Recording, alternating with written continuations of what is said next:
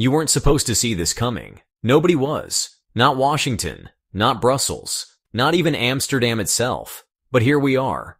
The Netherlands, one of America's closest allies, just made a move that could unravel the global semiconductor industry. And it's not backing down. One move. That's all it took to throw a wrench into America's tech war. And the fallout? That's what nobody's ready for. The Netherlands justified US pressure in a move that could shake global semiconductor supply chains. ASML, the Dutch tech giant controlling 90% of the global lithography market, was expected to fully comply with Washington's semiconductor export bans against China. Instead, Reuters reports that ASML continues shipping deep ultraviolet DUV machines, critical for chip production, to Chinese firms despite Washington's insistence. This decision undermines U.S. efforts to cripple China's semiconductor capabilities and raises serious questions. Is the Netherlands carving its own path, or is this economic brinkmanship? Former ASML CEO Peter Wennink previously warned that cutting China off entirely would only accelerate Beijing's domestic chip-making capabilities. And he may be right. China's Semiconductor Manufacturing International Corporation, SMIC, recently produced a 7 nanometer chip despite US restrictions. A feat. And the Wall Street Journal described as a wake-up call for Western tech dominance. If ASML continues exporting to China, is it prolonging its own market dominance or ensuring its own irrelevance?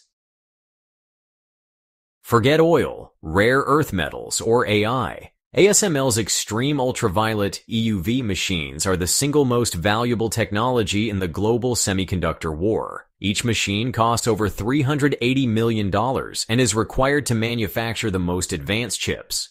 Without them, China is stuck generations behind the US, Taiwan, and South Korea. That's why the Biden administration, through the CHIPS Act, pressured the Dutch government to block ASML from selling EUV machines to China entirely. But here's where things get complicated.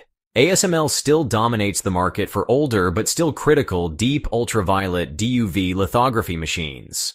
The US wants those blocked too, but the Netherlands is resisting. Financially, the numbers don't lie. China accounted for 46% of ASML's total sales in 2023, bringing in over $7 billion. Cutting off China could slash ASML's revenue and hand its monopoly power to Beijing-backed alternatives. If ASML plays along with Washington now, does it risk destroying its own future? At first glance, the Netherlands' decision to keep selling DUV machines to China might seem like defiance, but there's another layer, economic survival. Dutch officials aren't just weighing diplomatic pressure from the US and China, they're protecting ASML's role as a global tech leader. The Dutch government heavily subsidizes ASML and allowing Washington to dictate its trade policy risks, making the Netherlands an economic hostage to US interests. But there's another problem. Retaliation. Beijing has already hinted at blacklisting ASML if export restrictions tighten further. According to Nikkei Asia, China is stockpiling ASML machines, ramping up domestic production of alternative lithography technology and investing $143 billion into its own semiconductor sector. The Dutch government must ask itself, if it caves to US pressure now, will it still have a market in five years?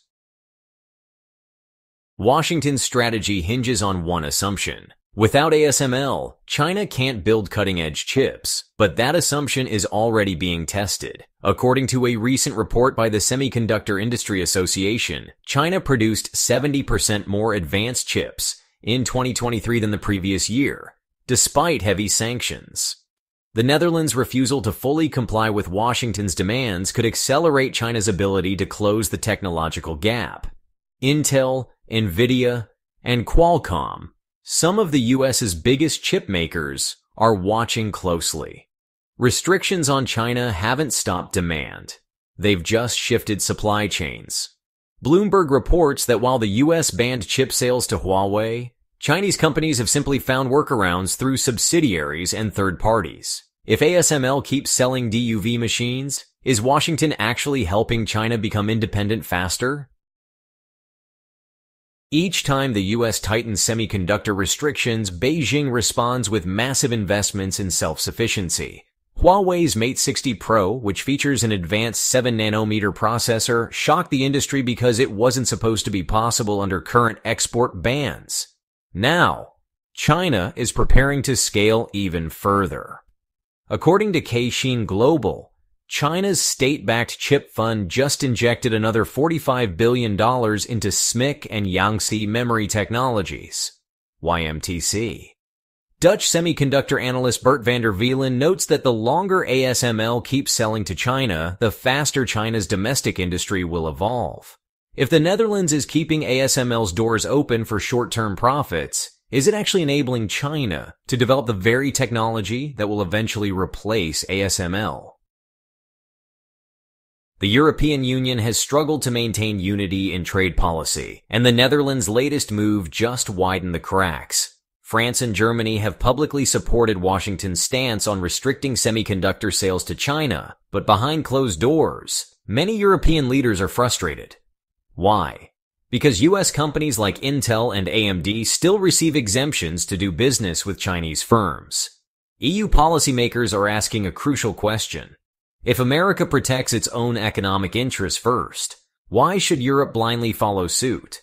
The Financial Times reports that European chip makers, including ST Microelectronics and Infineon, are quietly lobbying against full-scale bans.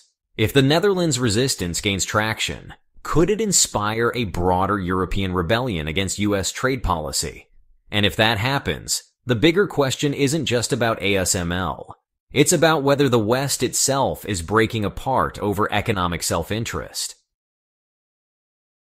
China currently controls over 77% of global battery production, but its biggest vulnerability remains high-performance semiconductors essential for EVs. Dutch company ASML holds the exclusive capability to produce extreme ultraviolet lithography machines, the key to manufacturing the most advanced automotive chips. The US imposed strict restrictions to prevent China from accessing this technology, but with ASML still shipping deep ultraviolet machines, albeit at a reduced volume, Chinese firms like SMIC and Yangtze Memory Technologies have accelerated domestic alternatives.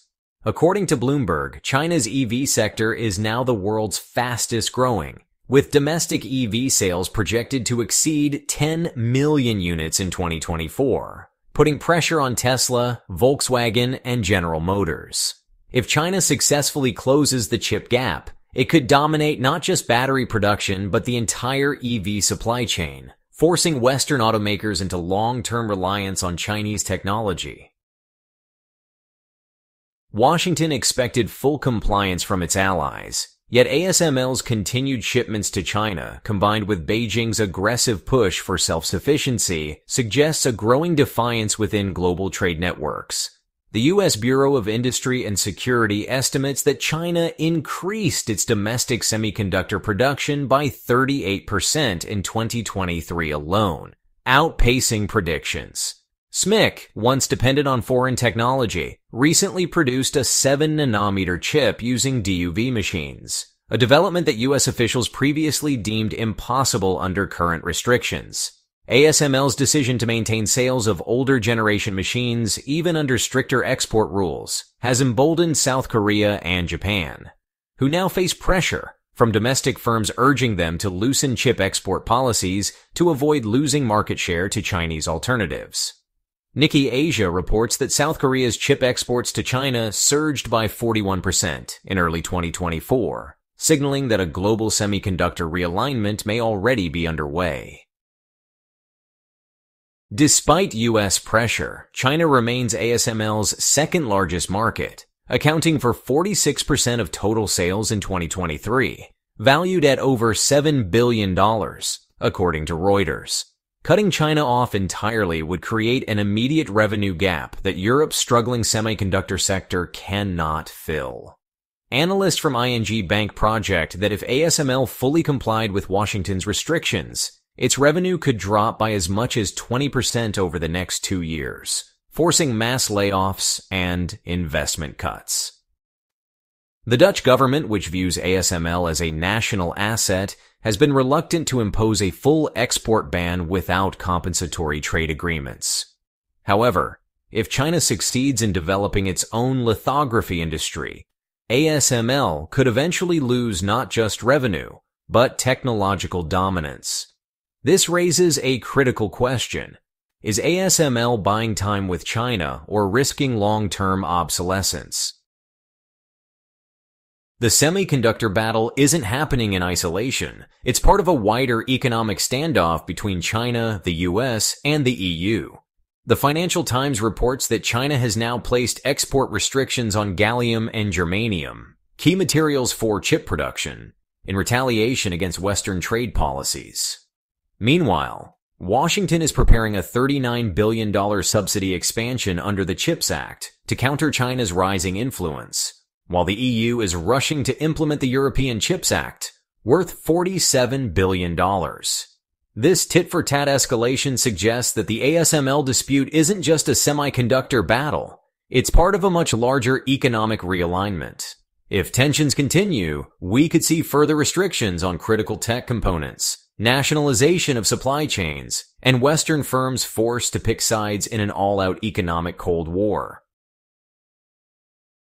If ASML continues selling restricted chip-making technology to China, US trade officials could escalate by targeting European firms with secondary sanctions, similar to those imposed on Huawei suppliers. At the same time, China's state-backed semiconductor fund, known as the Big Fund 2, has committed $45 billion in new investments to build its own lithography systems, with early prototypes expected by 2026 according to Caixin Global. If China succeeds, Taiwan's TSMC and South Korea's Samsung, both reliant on ASML machines, could lose their technological edge. Meanwhile, European semiconductor firms like Infineon and ST Microelectronics are growing wary of over-reliance on US policy decisions, with executives pushing for trade autonomy in closed-door meetings with EU officials. This suggests that we're not just witnessing a battle over semiconductor supply, but the possible fragmentation of the global chip industry into two competing ecosystems, one led by China, the other controlled by the US and its allies. For decades, Europe played the role of a neutral economic power, but ASML's decision, whether strategic or forced, could mark the moment that changed. The US expected the Netherlands to fall in line, but resistance from The Hague has shown that European nations may no longer be willing to blindly follow Washington's trade directives.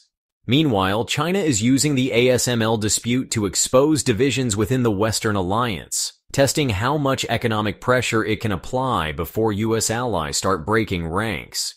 If Beijing successfully secures an alternative to ASML within the next decade, it won't just mark a technological shift, it will fundamentally alter the balance of global power. The Netherlands may have made a short-term decision based on trade interests, but the long-term consequences could redefine economic alliances for decades. And if ASML loses its technological edge to China, this moment might be remembered as the day the West lost its monopoly over the future of computing.